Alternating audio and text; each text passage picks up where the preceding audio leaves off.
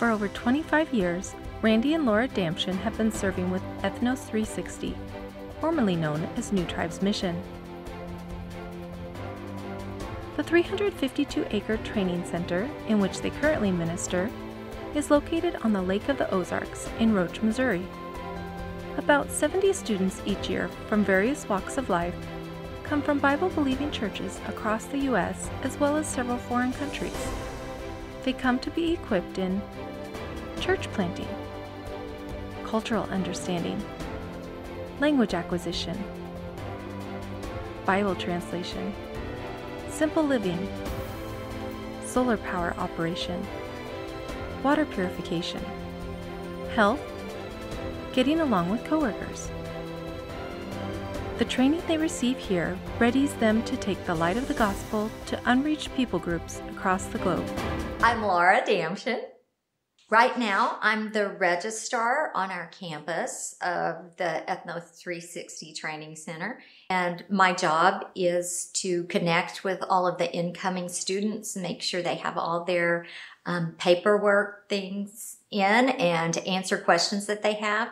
Then I do all the correspondence with them as far as letting them know our schedules, what our fees are, um, just kind of the, the events and how they will take place over the summer as far as when they can arrive and um, what they need to do as far as finding out um, what apartment they'll be in, what they need to let that housing man know, and just things like that. So I am their official contact on the campus for any questions. I don't answer all the questions, I do pass them on to people who can. I'm also in charge of all the foreign student paperwork and any um, veterans that we have that are using the Veterans Administration programs to go to school. I'm in charge of that. This is my um, second full year to be registrar here.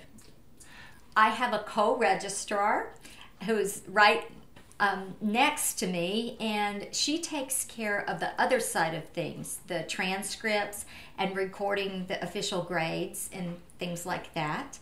And um, then we have several other people that are um, general office staff or financial things. But as far as registrar, there's two of us. The average day would be doing emails, um, communicating with students, taking care of lots of, of, paperwork, staying on top of that kind of thing. Um, one day a week, I open up our logo store here on campus that sells um, some merchandise and things like that.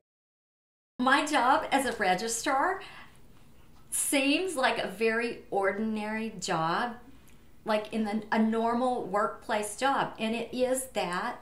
But in missions, there are all kinds of jobs that need to be done. Um, we are doing this so that the missionary candidates can be trained, so they can go overseas, so they can get to tribes and people groups that have never heard the gospel. So, whatever you are able to do, the Lord can use in amazing ways, no matter what it looks like the job is. And I'm Randy Damschen. So I currently work with Off Grid Tech, which is a ministry of Ethnos 360, uh, basically helping missionaries overseas with the physical aspects of their life and I'm the director there, and so I help manage the, the workflow and different things that need done there at Off Grid Tech. And my day consists of helping manage things, basically seeing what the work what work needs done and what whether that be answering emails, consulting with people, or building stuff, or um, different things like that shipping, packaging, whatever. I, I, mean, different guys are doing different things, so I don't have to do everything, but managing the overall flow of Off Grid Tech. Part of what we do here is we teach and equip. So we teach the students what's available, uh, how to set it up, how to use it, um, then we equip them with what we've been talking about, those systems that they need. And then comes in the support, uh, which is consulting and helping them in different ways. And so sometimes we actually do, especially on bigger projects, go and help set up and we take turns. I think we're going to South Sudan this fall, two of our guys to help set up uh, a system in a guest house at a medical facility.